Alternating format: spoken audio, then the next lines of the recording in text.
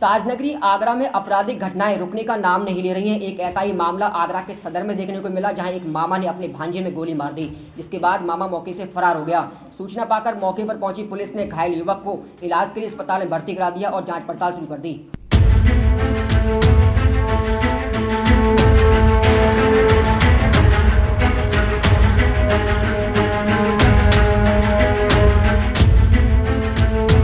आगरा के थाना कहरे मोड़ पर उस वक्त अफरा तफरी मच गई जब एक युवक की गर्दन में गोली मार दी।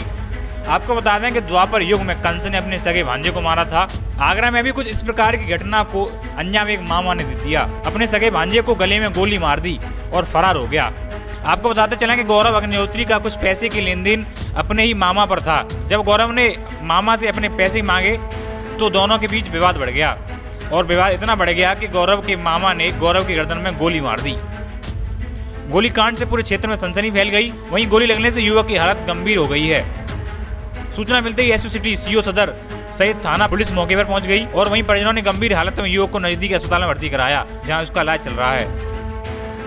शर्मा ने हमारी बेटी को गोली मारी है और साथ में सुनील शर्मा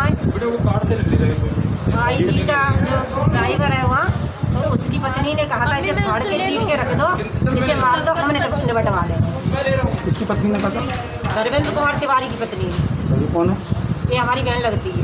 अच्छा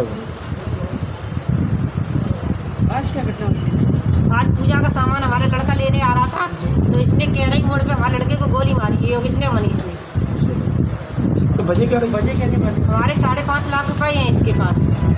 के पास? हाँ। तो वो ये कहता था इसके साले भाई ये कहता था बेईमानी कर लो। हमारे माँ बाप ने कुछ पैसे हमारे देने के लिए कहा। तो शुरू से मतलब माँ बाप शुरू से मारते पीटते थे लड़के। तब दस साल तक हमारे माँ बाप हमारे बहा के मकान में रहे। फिर यहाँ से मारपीट करते थे बहुत बुरी दुर्दशा करते थे लड़के। आपने कभी अपने भाइयों को समझाया नहीं कि ऐसी घटना ना करें?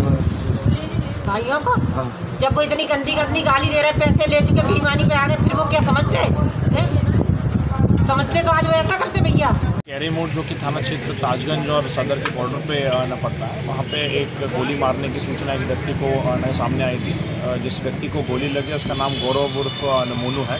मौके पे इंस्पेक्टर ताजगंज इंस्पेक्टर सदर सी ओ सदर सभी लोग पहुँचे। अभी उस व्यक्ति को हॉस्पिटल में एडमिट यहाँ पर किया गया है।